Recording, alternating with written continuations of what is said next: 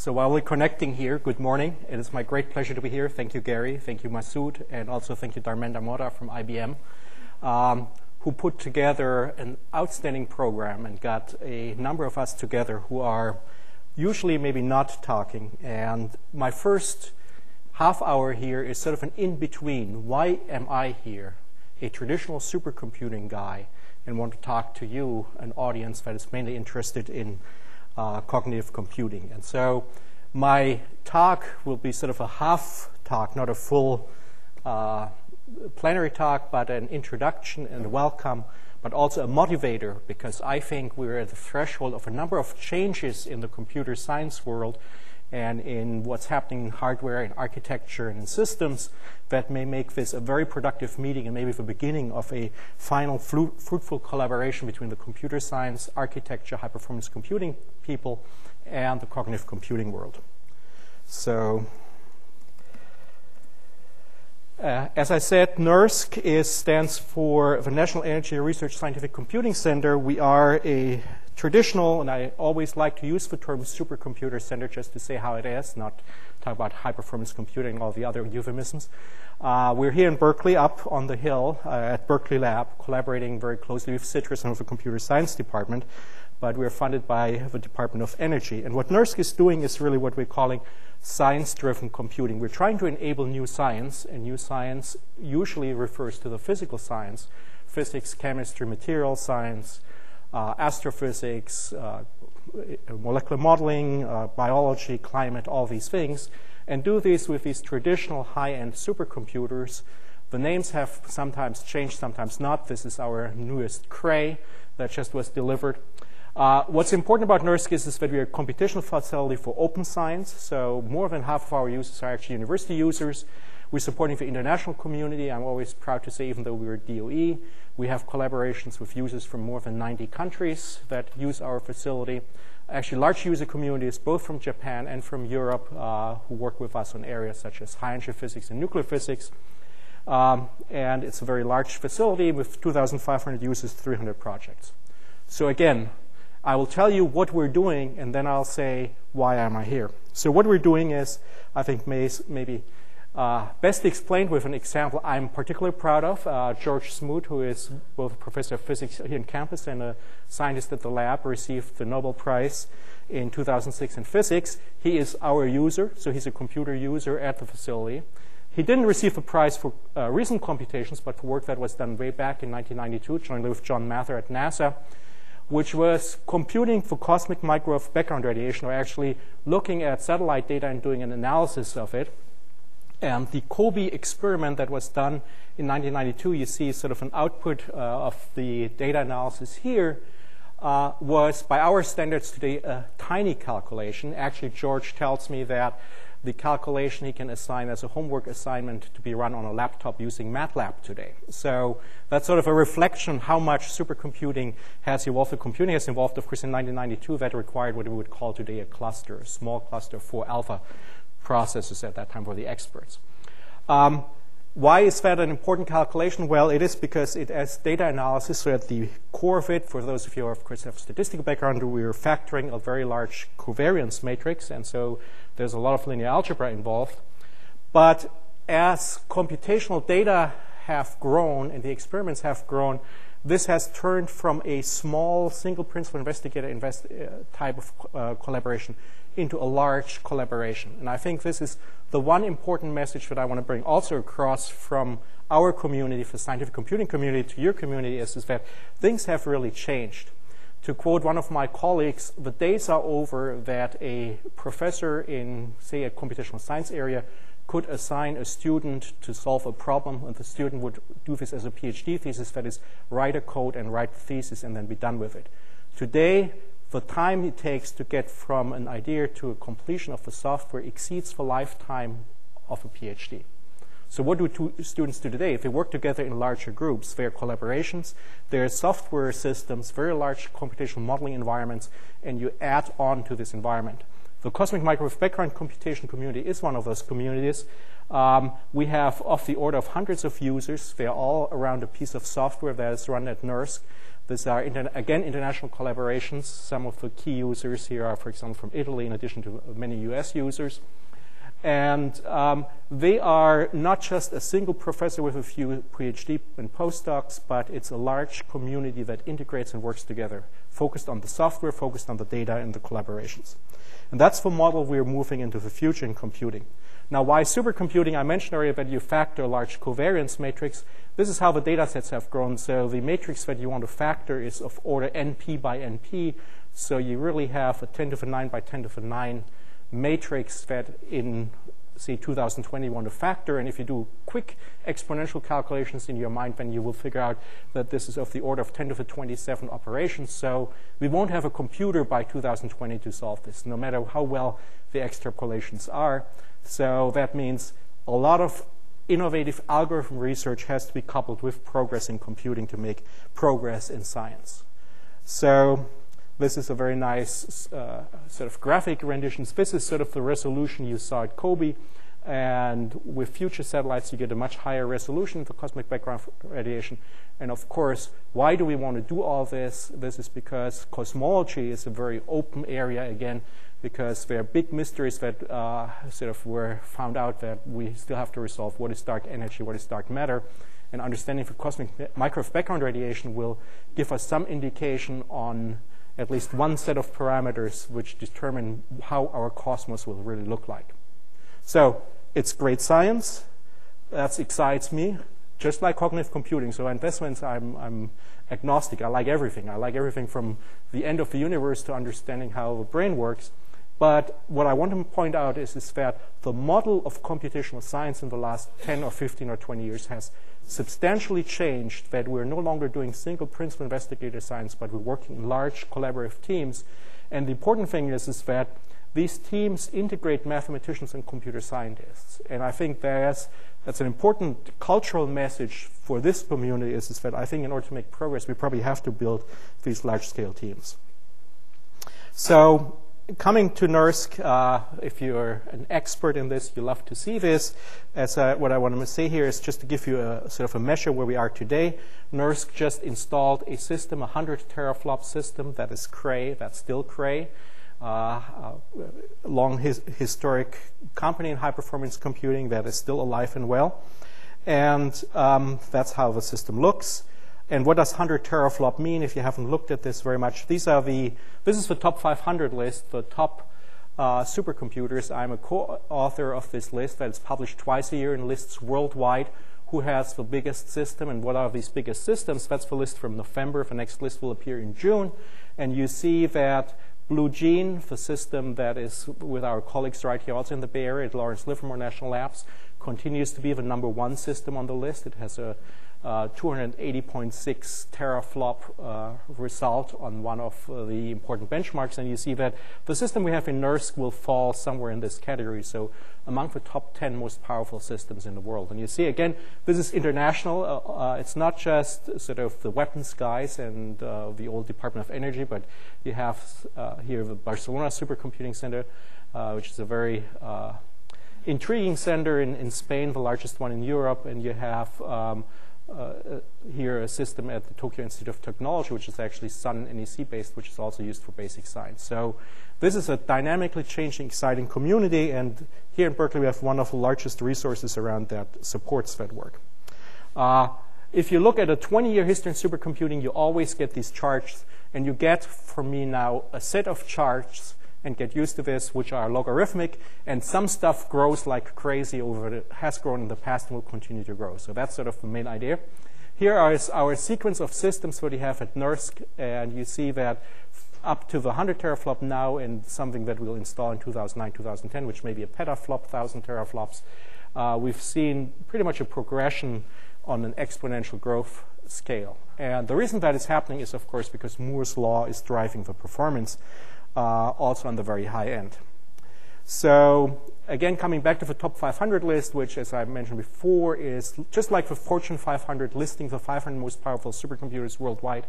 You can make a lot of interesting observations on what's happening in high-performance computing and the technology trends.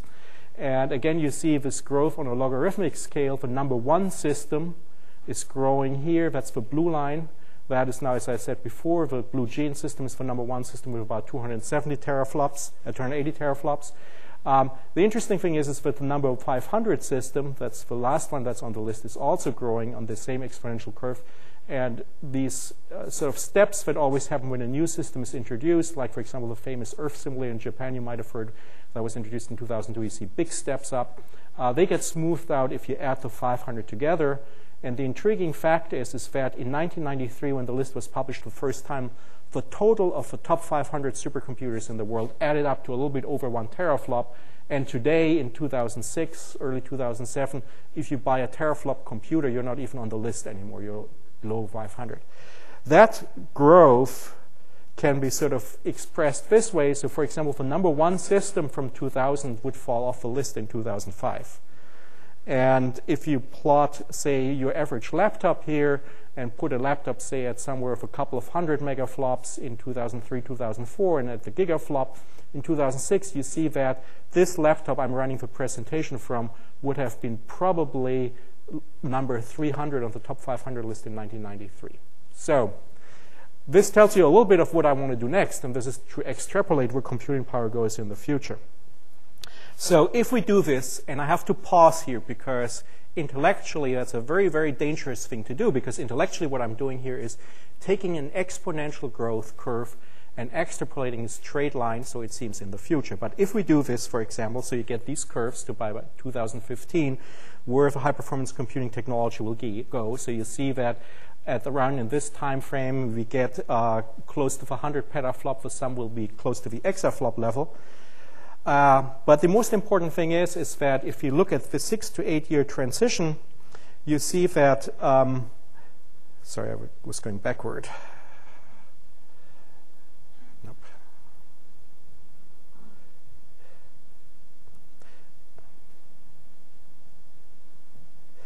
If you look at, this at these transitions, it takes about of the order 8 to 10 years from the supercomputing technology to reach the laptop level. That's what I uh, just said before.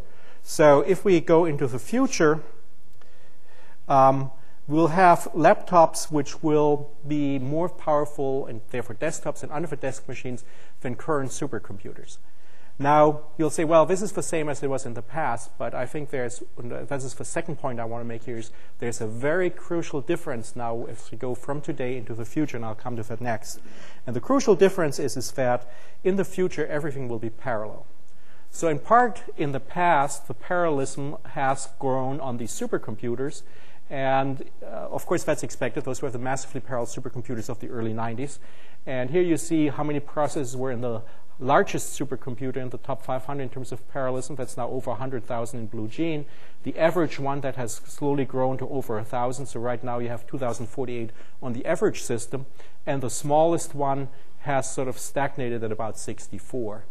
And so parallelism has gone up. But the important thing is, what parallelism do you have today in your laptop? Today in your laptop, you have maybe a dual core processor. And the important second lesson that I would like you to take away from my lecture is, is that it will not stay at dual core. As you know, everybody's talking about quad core, and Sun just announced a great new product with Rock, which has, I think, 32 cores. So you will see that the parallelism on the laptop will grow according to these same curves in the future. That's, of course, a prediction, but what it means is, is that parallelism is there for everybody. And what that means is, is that in the long term, the transition from here, from your environment, from your desktop or laptop environment to a supercomputing environment is going to be much more seamless. Because at this point in time, the Microsofts and Intels have to think about parallelism. It's not just the Crays and, and high-end companies. So this is a fundamental change in what's going to happen in the next couple of years. So here's a curve from my colleagues. Uh, this is a group of uh, folks. Kunle Olukotun is at Stanford. Burton Smith is at Microsoft. Um, they looked at those trends, and basically all of us know that Moore's law continues. We put more and more transistors per chip, but there was this important point in 2004, and actually you could put the timestamp on it. In September 2004, Intel declared they will abandon one project and will not crank up the clock anymore. And so what you see now on all microprocessors is that pretty much everything has stalled. What has stalled is both the number of, in a sense, for clock speed, we were sort of stalled at maybe 3, 4 gigahertz. What has stalled is for power consumption. That's another limit. And what has stalled is sort of the automatic parallelism, instruction level parallelism. So we're building computers with more tra uh, transistors, but architecturally we have stalled. So what is going to be done is, is that multi-core. Everybody builds multi-core processors.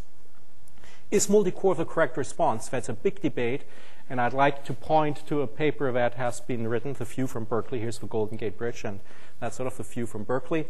Uh, but what it means is that the view from Berkeley is, is multi-core really the correct way of going about in the future and using the additional transistors? it's really, if you look at the Intels and AMDs, sort of the quick and easy way. They can't think of anything else what they do with the extra transistors, so they do the same processor over and over again and put more cores on the chip. But um, the way Dave Patterson puts it is this really, the industry has thrown down sort of in football terminology the Hail Mary pass. The ball is, the football is in the air, and the community is not even running yet. Because most of us don't even think about the question, what are we going to do with all these 4, 8, or 16, or 32-way parallelism that will come on chips. Uh, the big ones are now gradually waking up to this, and uh, there are, there's quite of interest in, in addressing the chip-based parallelism. But this is the big revolution. There's another thing in there, and this is what I'm implicitly saying here. We're not sure that multi-core is really the right way of using all the transistors. There's really a possibility to open up architecture research again, as it hasn't been opened up in 20 years. We have lived in a monoculture determined by the Intel 386 architecture for 20 years. Here's a chance, chance to break this monoculture and do something completely different in the future. And so, just one of the announcements of last week, IBM announced that they put the cell processor, which came out of the Sony Toshiba collaboration for the PlayStation, into what you might call a mainframe. And so, you have an innovation of a game processor being used for mainstream mainframe computing. You have NVIDIA, another game processor company that is going pretty much mainstream. They're now a $500 million business, but only 10% of their revenue is coming actually out of games. The rest is coming out of all types of other applications. So the microprocessor world is changing, but it sure is going to be parallel. So this is the slide going out into the far future. And again, I want to point out that by 2025, if we have laptops in 2025, you will have of the order of between 10 and 100,000 processors on your laptop. Now, you should pause and say, hey, that doesn't make sense at all. And I agree. This is a straight future extrapolation. It doesn't really make sense because in 1987, I didn't have a laptop either because that wasn't invented yet. So there's sort of the, all the other stuff that we can invent with these parallel systems is also out there in the future. But assuming that works. So everybody noticed this exponential growth in computing, and now I switch to sort of what I call the other side. This is Ray Kurzweil has sort of pointed this out in his books that there is an exponential growth. And I'm coming now to a set of slides which look very much like the top 500 slides, but they have one little thing added to it. And here's sort of the Kurzweil version, which says everything is grown exponentially, and then I draw lines across, and here say this is, quote, the intelligence of a mosquito or a mouse of a human brain. This is all humanity together. And those charts were published on and off over the last couple of years. Now, my problem with these charts is that I have had in 2000 a computer that was an IBM system that had the power, of, according to this chart, of a mosquito. And I currently have acquired a system at NERSC that has the intellectual power of a mouse. But realistically speaking, my computer at NERSC can't do anything of the stuff that mice or mosquitoes can do. I mean, absolutely not. I mean, if I, if, if I walk with a piece of meat in front of a computer. A computer doesn't recognize that's something edible, and if I show a rocket, the computer doesn't recognize that it's not edible, and a mosquito knows that. So these charts have some fundamental problem. Here's another one that's Hans Moravec in CACM. Same thing. Computer power is growing. Here's intellectual. And there's sort of this implicit assumption that by building something bigger and bigger, by making these quantitative changes, we suddenly get a qualitative change. And I just don't believe that this sudden jump into the qualitative change will happen by itself. Um, it's, it's sort of like we turn on our computer and suddenly it thinks about food. Um, this is a real simplistic view that I believe is wrong and misleading. Um, one of the main reasons why it's misleading is an obvious one is, is that we have built very, very special purpose architectures. If you go back 50 years and ask, why do we build computers that we build today? Floating point intensive systems. It's very simple because the first driver for computers in the Cold War area were nuclear weapon simulations. all the early development of high-performance computers were done at places like Los Alamos and at Livermore, and they were done for doing computational physics. So we have actually, on the high-performance computing world, fairly highly tuned, sophisticated machines that do one thing really well, that is solving the numerically, numerically the equations of computational physics with high floating point coefficient. And actually, uh, what you have in your, in, in, a, in a sense, in, in, your environment is, is just a derivative of that. There is no other architecture than the von Neumann architecture and then replicated multiple times as a parallel system. So the, the architectures have, architecture world has very little, has paid very little attention to other applications outside what I would say the traditional computational physics world. But there's also slow progress in mathematical models for cognitive process. Yes, you all have worked on this for 20 or 30 years or so, but this is our difficult problems, and I think there weren't insufficient resources put into this field to actually make progress. It has not gotten the attention that understanding how to blow up things have gotten. So that's sort of the second thing. We, we have, and, and there has been a gap between the two, and I think that gap can be closed. So let me conclude with two history lessons and then uh, one final statement here. Um, I'm only going back 20 years. There's maybe a longer history, as Robert Hecht-Nielsen told me before we started here. Um, there was sort of a point of opportunity, I think, 20 years ago. In 1987, the connection machine CM2 was introduced. That actually came out of the artificial intelligence community. So there was an expectation that this machine could be used, at least in the AI world. I mean, I'm not sure if there was any attempt even made by folks who do cognitive modeling and, and neuromodeling to, to look at this machine, but there was at least that connection out there. Um, the CM2 is, has evolved into a CM5, and exactly because of the pressure, the funding from DARPA pushed thinking machines to go much more into developing a machine that was no longer the bit serial 64,000 processor machine that was the CM2, but a much more traditional MPP that became the CM5. So there was an opportunity, and I think the opportunity that was lost was that there was really the two communities never really got together on this. And I think there was some early work, and I also saw Kanerva in the audience who was together with me in 1987 at NASA when we got one of those machines, and his group at that time was looking at the connection machine. And I think, unfortunately, a lot of this early work that could have been potentially fruitful has been pretty much lost. I want to give an anecdote on the aside. I mean, how much things have been lost. I'm teaching, um, we have summer students coming in every year. And so there have 25, 30 summer students coming in, and I give them a welcome talk about high performance computing. So I show them slides like this. And I ask them, who has heard about thinking machines? And the answer was as follows in 2001 or 2002 out of 25 people still had three knew about thinking machines in 2004, nobody knew anymore about thinking machines. It disappeared. It's out of our history. And if you go back, unfortunately, this is just pre World Wide Web days. And so there's very little out there that today's computer scientists and computer science, future computer science researchers really know about what was done in the 80s. So this is just an anecdote. We, we also, as a community, are not very historical. And even those of us, and I see many of you probably know thinking machines, will, will forget about things. Lesson number two, 10 years ago, who wouldn't remember, that was when Deep Blue beat Garry Kasparov. It happened to be actually May 1997, exactly 10 years ago. This was one of the biggest success stories of machine intelligence. I'm not even talking about uh, cognitive computing, just about machine, machine intelligence. What have we learned from this? So my point here is we have almost learned nothing from this. We have learned that it's possible to build such a machine and develop software to accomplish something which was seen up to that point as a feat that only humans could do. But we have done no bit of further analysis. Not even the chess computing experts have sort of used that and tried to understand. I mean, we have not learned anything from Deep Blue in terms of it didn't teach us anything about how a chess grandmaster thinks. And so there's another opportunity lost. And so um, now we're coming to 2007 in my short history.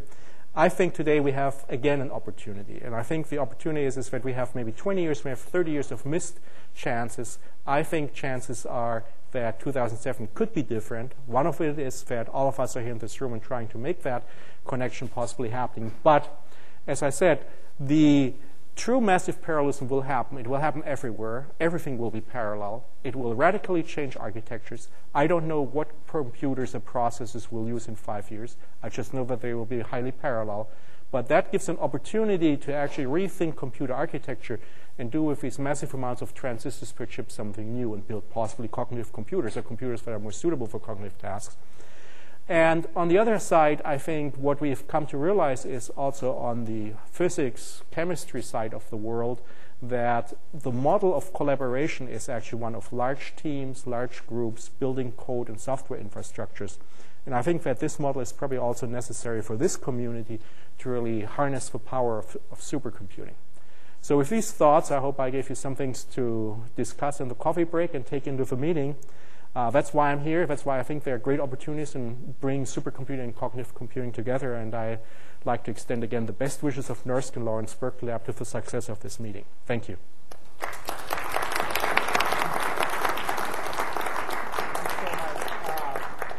time for a couple of quick questions. First of all, thank you, of course, for enlightening us and Thanks. giving us an overview of where the cognitive computing and the supercomputing actual connectivity is at. So if anybody has a question for, uh, for two quick questions. So first you mentioned, you know, this uh, falling off of the list of the phenomena. Yeah. Does it, is it just off of that chart? I mean, how about memory? Does it just fall off in all respects, communication? No, it is only floating point performance. That's one of the shortcomings on the list that it only focuses on this one characteristic. If we were to look at memory, that would be a different list.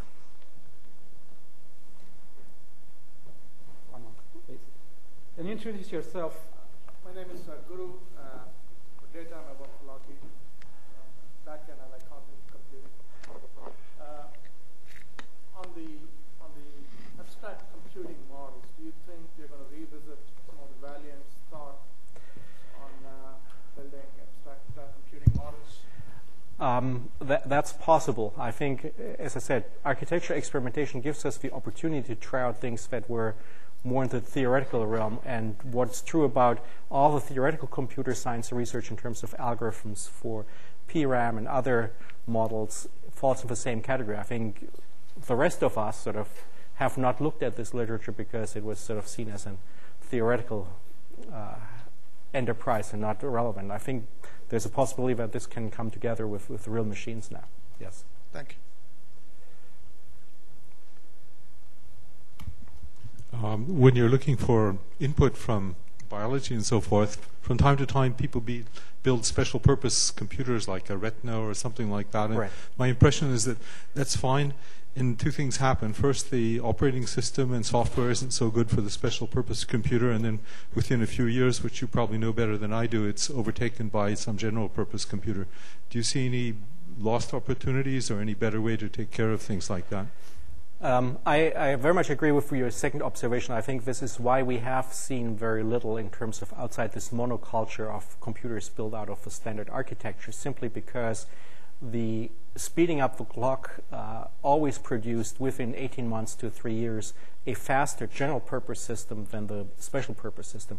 What I'm claiming here, which is of course open to debate, is, is that this may be different in the future because in the future it's only architecture that differentiates products clocks will not increase because we cannot heat, handle the heat and power consumption. So we have to go to parallelism or something else. And something else means all kinds of experimentation is out in the open. And so a lot of people now use FPGAs for tasks that were where FPGAs were done too, thought too slow. So there is the possibility of creating an environment, and this is a project here in Berkeley, the RAMP project, where you can actually build in FPGAs possible architectures, try them out, and then reconfigure those architectures, even parallel architectures. So I think there is, I know why things didn't work in the past, but I think they may now happen again in the future. One last question. Thank you. Uh, Steve Beck, visiting fellow, College of Engineering.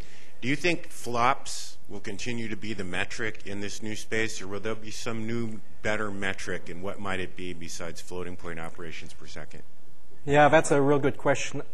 Um, as one of the authors for the top 500 list, I very much regret actually that flops is driving us so much and that the list is based so much on flops because it biases the spectrum of computers. There have been, at least in our community, for many years, efforts to change the metric, introduce multiple metrics, but uh, we're, driv- we're still sort of driven by the industry. The industry loves simple metrics, and so they look at high-end computing at LINPACK flops, and they look at spec, and that's that. And so um, I think as a community, if we find a way of measuring performance better in a particular subfield, uh, we may come up with a different metric. But unfortunately, I think things are very much still driven by flops. Thank so, you. Uh, that, I would like again to thank you, Horst Simon, uh, on behalf of the organizing committee, uh, Robert Hecht-Nielsen from UC San Diego, and Dharmendra from IBM. Thank you for being here.